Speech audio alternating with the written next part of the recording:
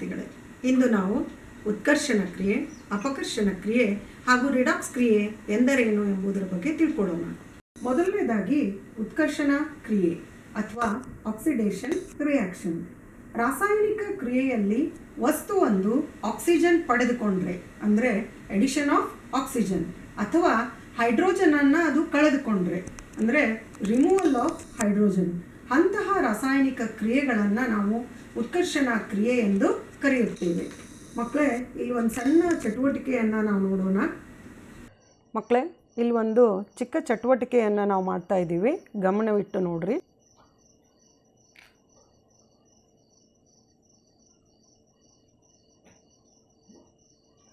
ಈ ಒಂದು ಪಿಂಗಾಣಿ ಬಟ್ಟಲಿನಲ್ಲಿ ನಾವು ತಾಮ್ರವನ್ನು ತೆಗೆದುಕೊಳ್ತಾ ಇದ್ದೀವಿ.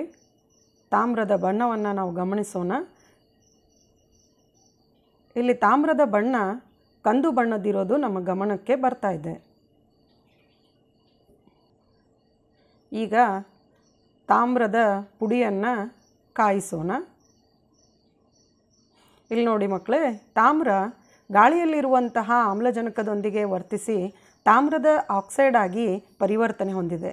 ಮಕ್ಕಳೇ, ಇಲ್ಲಿ ನಾವು ಗಮನಿಸ್ತಾ ಇದ್ದೀವಿ, ತಾಮ್ರ ಆಕ್ಸಿಜನ್ನೊಂದಿಗೆ ವರ್ತಿಸಿ, ಅಂದರೆ ಅದು ಆಕ್ಸಿಜನನ್ನು ಏನು ಮಾಡಿದೆ? ಪಡೆದುಕೊಂಡಿದೆ. ಆದ್ದರಿಂದ ಅದು ಉತ್ಕರ್ಷಣಗೊಂಡಿದೆ ಅಂತ ನಾವು ಹೇಳ್ತೀವಿ. ಇಲ್ಲಿ ನೋಡಿ ಮಕ್ಕಳೇ, ಇಲ್ಲಿ ಕಂದು ಬಣ್ಣದ ತಾಮ್ರ ಏನಾಗಿದೆ? ಕಪ್ಪು ಬಣ್ಣಕ್ಕೆ ಪರಿವರ್ತನೆ ಹೊಂದಿದೆ. ಅಂದರೆ ತಾಮ್ರದ ಮೇಲ್ಮೈ ಏನಾಗಿದೆ? ಕಪ್ಪು ಬಣ್ಣಕ್ಕೆ ಪರಿವರ್ತನೆ ಆಗಿರೋದು ನಮ್ಗೆ ಕಂಡು ಬರ್ತಾ ಇದೆ. ಆದ್ದರಿಂದ ನಾವಿಲ್ಲೇನು ಹೇಳ್ತೀವಿ?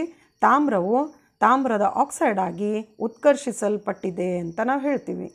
ಈ ಒಂದು ಚಟುವಟಿಕೆಯಲ್ಲಿ ನಾವು ನೋಡಿದ್ವಿ, ತಾಮ್ರ ಗಾಳಿಯಲ್ಲಿರುವಂತಹ ಆಕ್ಸಿಜನ್ನೊಂದಿಗೆ ವರ್ತಿಸಿ ತಾಮ್ರದ ಆಕ್ಸೈಡ್ ಆಗಿ ಉತ್ಕರ್ಷಿಸಲ್ಪಡುತ್ತದೆ.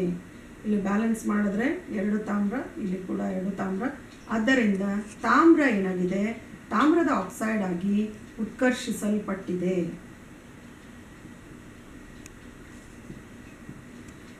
ಇನ್ನೊಂದು ಉದಾಹರಣೆಯನ್ನು ತಗೊಳ್ಳೋಣ hydrogen sulphide plus chlorine. Sulphur plus H C L balance ಮಾಡಿದಾಗ ಎರಡು ಹೈಡ್ರೋಜನ್ ಹಾಗೂ ಎರಡು ಕ್ಲೋರಿನ್ ಇಲ್ಲಿ ನೋಡಿ ಮಕ್ಕಳೇ ಹೈಡ್ರೋಜನ್ ಸಲ್ಫೈಡ್ ಇದ್ದಿದ್ದು ಸಲ್ಫರ್ ಆಗಿ ಉತ್ಕರ್ಷಿಸಲ್ಪಟ್ಟಿದೆ. ಇಲ್ಲೇನಾಗಿದೆ ಅಂದರೆ ಹೈಡ್ರೋಜನ್ ಸಲ್ಫೈಡ್ ಹೈಡ್ರೋಜನನ್ನು ಕಳೆದುಕೊಂಡು ಸಲ್ಫರ್ ಆಗಿ ಉತ್ಕರ್ಷಿಸಲ್ಪಟ್ಟಿದೆ. ಆದ್ದರಿಂದ ಇದು ಕೂಡ ಉತ್ಕರ್ಷಣ ಕ್ರಿಯೆ ಈ ರೀತಿಯಾಗಿ ಆಕ್ಸಿಜನ್ ಅನ್ನ ಪಡೆದುಕೊಳ್ಳುವುದರಿಂದ ಅಥವಾ ಹೈಡ್ರೋಜನ್ ಅನ್ನ ಕಳೆದುಕೊಳ್ಳುವುದರಿಂದ ಉಂಟಾಗುವಂತಹ ರಾಸಾಯನಿಕ ಕ್ರಿಯೆಗಳನ್ನ ಉತ್ಕರ್ಷಣ ಕ್ರಿಯೆಗಳು ಅಂತ ನಾವು ಕರಿತೀವಿ. ಈಗ ಅಪಕರ್ಷಣ ಕ್ರಿಯೆ ಅಂದ್ರೆ ಏನು ಅನ್ನೋದನ್ನ ನೋಡೋಣ. ಮಕ್ಕಳೇ ಅಪಕರ್ಷಣ ಕ್ರಿಯೆ ಏನಿದೆ ಅಲ್ಲ, ಇದು ಉತ್ಕರ್ಷಣ ಕ್ರಿಯೆಯ ವಿರುದ್ಧವಾದಂತಹ ಒಂದು ಕ್ರಿಯೆ ಅಂತ ನಾವು ಹೇಳ್ಬೋದು. ಇಲ್ಲಿ ನೋಡಿ, ರಾಸಾಯನಿಕ ಕ್ರಿಯೆಯಲ್ಲಿ ವಸ್ತುವೊಂದು ಆಕ್ಸಿಜನ್ ಅನ್ನ ಕಳೆದುಕೊಂಡರೆ ಅಥವಾ ಹೈಡ್ರೋಜನ್ ಅನ್ನ ಪಡೆದುಕೊಂಡರೆ ಅಂತಹ ರಾಸಾಯನಿಕ ಕ್ರಿಯೆಯನ್ನು ಅಪಕರ್ಷಣ ಕ್ರಿಯೆ ಎಂದು ಕರೆಯುತ್ತಾರೆ. ಇಲ್ಲಿ ಉದಾಹರಣೆಯನ್ನು ನಾವು ತಗೊಳ್ಳೋಣ. ತಾಮ್ರದ ಆಕ್ಸೈಡ್ ಪ್ಲಸ್ ಮೆಗ್ನೀಷಿಯಂ ತಾಮ್ರ ಪ್ಲಸ್ ಮೆಗ್ನೀಷಿಯಂ ಆಕ್ಸೈಡ್. ಇಲ್ಲಿ ನೋಡಿ, ತಾಮ್ರದ ಆಕ್ಸೈಡ್ ಆಕ್ಸಿಜನ್ ಅನ್ನ ಕಳೆದುಕೊಂಡು ತಾಮ್ರವಾಗಿ ಅಪಕರ್ಷಿಸಲ್ಪಟ್ಟಿದೆ. ಆದ್ದರಿಂದ ಇದು ಅಪಕರ್ಷಣ ಕ್ರಿಯೆ.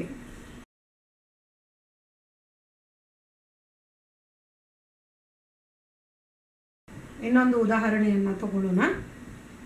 ಕ್ಲೋರಿನ್ ಪ್ಲಸ್ ಹೈಡ್ರೋಜನ್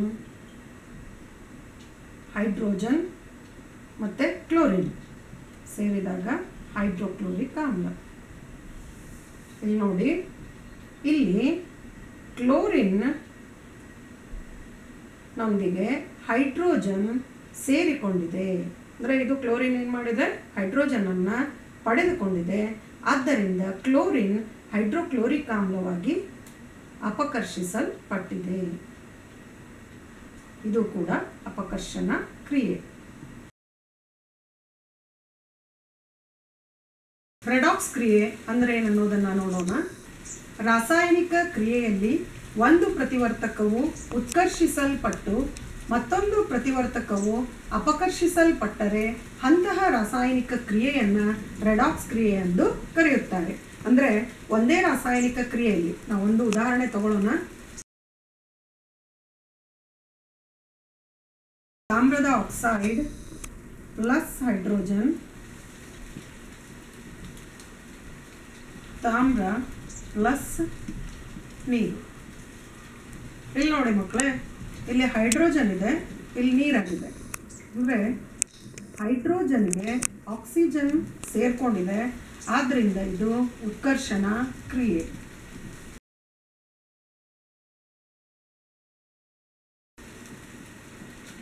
ಅದೇ ರೀತಿ ಇಲ್ಲಿ ತಾಮ್ರದ ಆಕ್ಸೈಡ್ ತಾಮ್ರ ಆಗಿದೆ ಆಕ್ಸಿಜನ್ ಕಳೆದುಕೊಂಡಿದೆ. ಆದ್ದರಿಂದ ಇದು ಅಪಕರ್ಷಣ ಕ್ರಿಯೆ.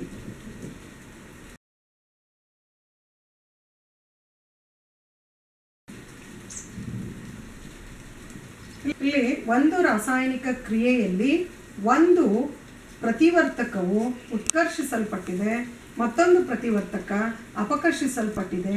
ಈ ರೀತಿಯಾಗಿರುವಂತಹ ರಾಸಾಯನಿಕ ಕ್ರಿಯೆಗಳನ್ನು ರೆಡಾಕ್ಸ್ ಕ್ರಿಯೆಗಳು ಅಂತ ಕರೀತಾರೆ. ಇನ್ನೊಂದು ಉದಾಹರಣೆ ತಗೊಳ್ಳೋಣ zinc oxide plus carbon.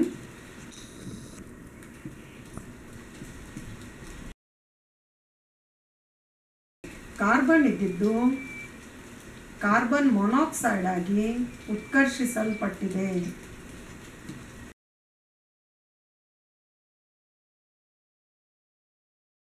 ಅದೇ ರೀತಿ ಜಿಂಕ್ ಆಕ್ಸೈಡ್ ಇದ್ದಿದ್ದು ಜಿಂಕ್ ಆಗಿ ಅಪಕರ್ಷಿಸಲ್ಪಟ್ಟಿದೆ. ಈ ರೀತಿ ಇರುವಂತಹ ರಾಸಾಯನಿಕ ಕ್ರಿಯೆಗಳನ್ನು ರೆಡಾಕ್ಸ್ ಕ್ರಿಯೆಗಳು ಎಂದು ಕರೆಯಲಾಗುತ್ತದೆ.